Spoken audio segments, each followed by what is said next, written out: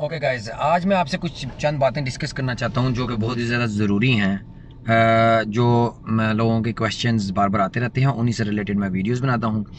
First question तो लोग मुझसे पूछते हैं कि आपने ये काम कैसे किया है? आपने कन्विंस कैसे किया सो फ़र्स्ट ऑफ़ ऑल ये मैं आपको बताता चलूँ हूँ कि मैंने अपनी वाइफ को शादी के बारे में बताया नहीं। मैंने की और then I inform them that I am gonna I have married okay but मैंने अपनी बीवियों के साथ शादी से पहले चाहे फ़र्स्ट हो सेकंड हो थर्ड हो उनके साथ डिस्कशन जो रखी वो यही रखी कि मेरे व्यूज़ क्या हैं मैं क्या चाहता हूँ मैं एक से ज़्यादा शादी क्यों कर रहा हूँ और what drives me what is my purpose of life why I want I want to marry more than one wife this kind of discussions before marriage मैंने सब वाइफ साथ की हुई है ठीक है? सो so, मेरे लिए जो मैटर करता था वो थे कुछ रूल्स एंड रेगुलेशन जो हमारे रब ने और कुरान में हमें बताए हैं उनसे इन्फ्लुएंस होकर मैं अपनी लाइफ के अंदर कुछ इंप्लीमेंट करने की कोशिश करता हूँ। तो इसलिए मैंने बाकी सेकंड और थर्ड मैंने की तो मैंने उसके बारे में शादी के बाद डिस्क्लोज़ किया और सारों को बता दिया कि जहाँ जी मैंने शादी की और इस रीज़न से की है। बहुत से लोगों ने नहीं बिलीव किया काफ़ी अरसे तक बिलीव नहीं किया। हाँ जी तुमने तो ये शा, शादियाँ की हैं सेक्स के लिए फ़लाँ के लिए टीम के लिए एक के लिए। तो वो बातें बहुत सुनने को मिली वो बारह वो चैप्टर क्लोज हो गया। दी सेकेंड थिंग इज़ अक्सर लोग पूछते हैं, मैं जौन सा हूँ, इस चीज़ को क्यों प्रमोट कर रहा हूँ? आप सोशल मीडिया को क्यों यूज़ कर रहे हैं? आपको क्या ज़रूरत है? ये फ़लाँ करने कैसे करने की? हमारे माशरे के अंदर, मैंने तीस साल के अंदर जो कुछ देखा है ना, जितना गंद देखा है, मैंने उसके बाद ही डिसीज़न लिया, कुरान में अल्लाह का इन लजीनामन आमिलसालियात जिन लोगों ने ईमान लेकर आए और असलाहत की आमिलसालियात मतलब असलाहत की तो मैंने एक फ़ील्ड चूज़ की कि आई विल डू असलाहत इन दैट एरिया यहाँ पे हम असलाहत करेंगे, इसको हम फिक्स करने की कोशिश करेंगे, बाकी कामयाबी रब की तरफ़ से। है तो हमने, मैंने देखे माशरे के अंदर चार किस्म के कैटेगरीज ऑफ़ मैन मैंने देखे, ठीक है? रियल एग्जाम्पल्स की बेस पे तो मैं उसी की बेस पे मिसाल देता हूँ। दुनिया का जो सा हर मर्द है, वो ख्वाहिश रखता है एक से ज़्यादा वाइफ की। ये सब झूठे हैं जो बोलते हैं कि नहीं नहीं, हमें नहीं, हमें विश ही नहीं है, नहीं जी। वो बीवी के सामने बोलेगा, क्योंकि अब वो पता बीवी के सामने बोल कर जाना फिर किधर है? तो सब सबके अंदर विश होती है। आ, मर्दों की औरतों की कमज़ोरियाँ अल्लाह ताला ने बनाई हैं। दोनों को डिफरेंट नेचर में बनाया मर्द की कमज़ोरी है औरत और औरतों की कमज़ोरी है जीनत। माल दौलत पैसा ज्वेलरी कपड़े शॉपिंग कमज़ोरी हैं ठीक है? फितरत बनाई है रब ने। औरतों की और मर्द की फितरत है। उसकी एक एक वीकनेस है। अब मर्द की कमज़ोरी औरत है उसकी चार किस्म की मर्दों को मैं कैटेगराइज करता हूँ। मेरी ऑब्जर्वेशन के मुताबिक इससे ज़्यादा भी हो सकते हैं। तो जो फ़र्स्ट कैटेगरी है, वो मर्दों की वो है, जो विश तो रखते हैं औरतों की, एक से ज़्यादा कमज़ोरी है उनकी, लेकिन वो औरत के सामने खोलते नहीं है, बयान नहीं कर पाते।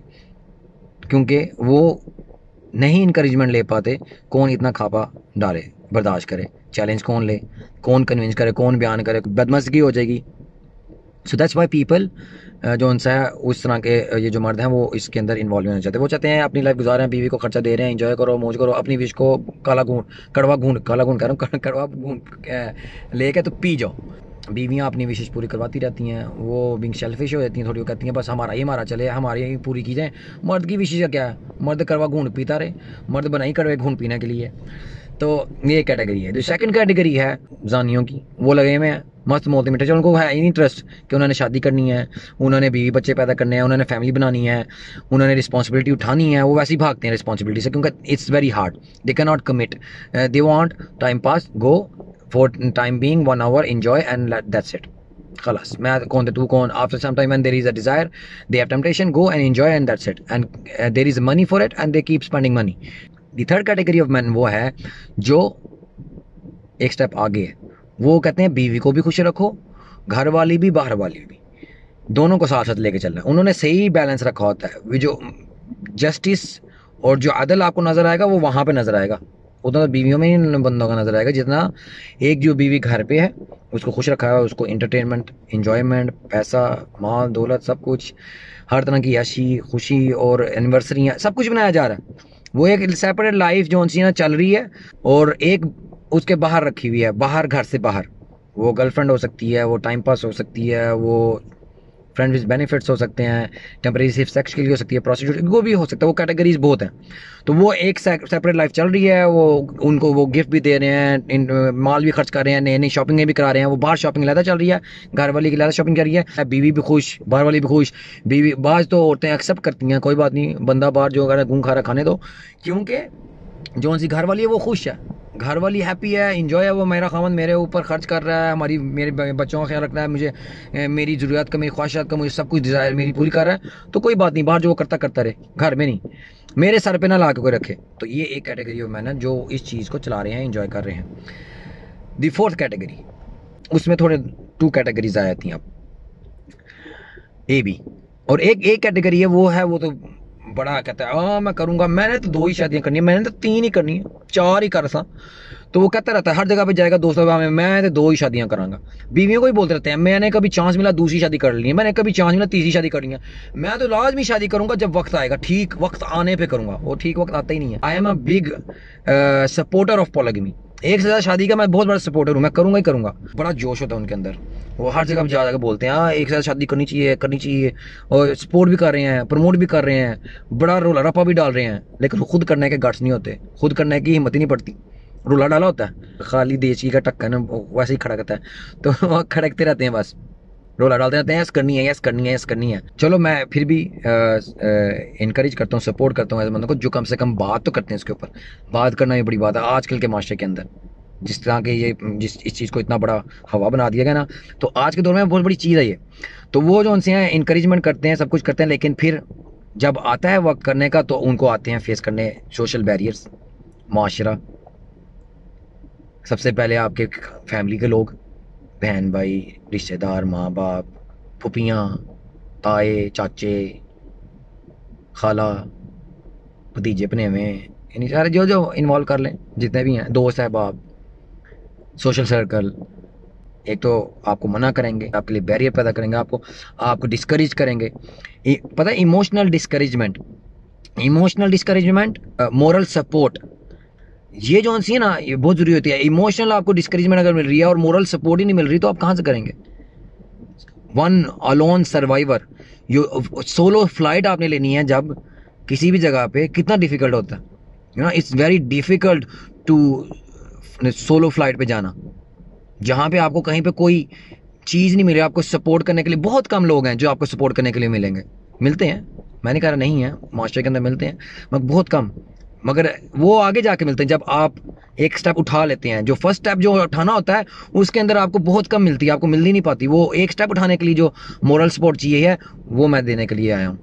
वो मैं देने की कोशिश करूँगा हर उस पर्सन को, और यही मेरा पर्पज़ है इन वीडियोस के ज़रिए कि वो जो फ़र्स्ट स्टेप पे जो मॉरल सपोर्ट मिलनी चाहिए थी मुझे, वो नहीं मिल पाई। इट्स वेरी डिफ़िकल्ट और बहुत से लोगों को नहीं मिल पाती। वो ज़रूरी है। Moral support emotional support discouragement इतनी आती है तो जो आप फिर वैसे ही सोचों में पर रहते हैं। करूँ ना करूँ खुरकते रहते हैं अपनी गालों को। गालों को कानों को खुरकेंगे सर को खुरकेंगे। खुरक खुरक के बस खुरकू बन जाते हैं मगर अगला स्टेप नहीं उठा पाते। तो ये वो कैटेगरी ऑफ़ मैन है।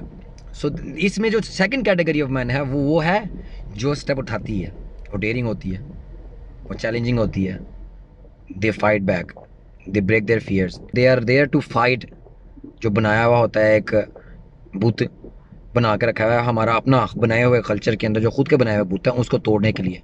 He is ready to break that stress भी लेता है चैलेंजेस भी फेस करता है प्रॉब्लम्स भी फेस करता है, हर किस्म की अपोजिशन भी सुनता है और बड़ी बड़ी बातें भी सुनता है।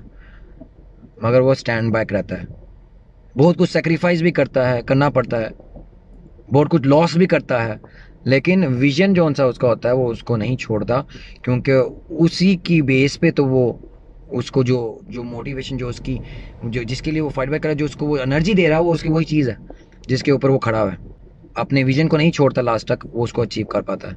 और अभी भी, मैंने, मैं नहीं कहता कि मैंने हंड्रेड परसेंट अचीव कर लिया but I am trying to I am trying to reach that place which I looked for which I plan for and I want others to reach also and I want my example कि जो मेरी example है आई don't से मेरी बहुत मसाली example है, बहुत ही बड़ी मसाली है, मैं बहुत बड़ी मिसाल बन गया हूँ। No I don't I don't say बहुत सी चीज़ें जो सी हैं, मैं समझता हूँ कि मेरा जो फ़र्स्ट एक्सपीरियंस है, इसके अंदर बहुत सी लर्निंग थी, बहुत सी इम्प्रूवमेंट्स थी, बहुत सी ज़्यादा मिस्टेक्स जो मैंने की, वो नहीं होनी चाहिए थी। जिसको मैं आगे वीडियोस में बयान करूँगा कि कहाँ कहाँ पे जो सी हैं सी चीज़ें हैं, वो नहीं इंसानों करनी चाहिए और जो करनी चाहिए, किस तरह से बेटर होनी चाहिए थी सिचुएशंस और किस तरह से और मज़ीद बेहतर तरीके से मैनेज किया जा सकता था और बेहतर इम्प्रूवमेंट लाई जा सकती रिलेशनशिप में। और जो मिस्टेक मैंने की, वो दूसरों को नहीं करनी चाहिए या रिपीट नहीं होनी चाहिए थी। तो वो मैं लाजमी नेक्स्ट कमिंग वीडियोज़ में डिस्कस करूँगा। आई थिंक वीडियो ज़्यादा लंबी हो गई है। और हो जानी है बोरिंग और आप लोगों को सुनते सुनते आ जानी है नींद। तो मैं आप वीडियो ख़त्म करता हूँ। अगली वीडियो में फिर एक और टॉपिक और मैसेज के साथ हाजिर होऊँगा।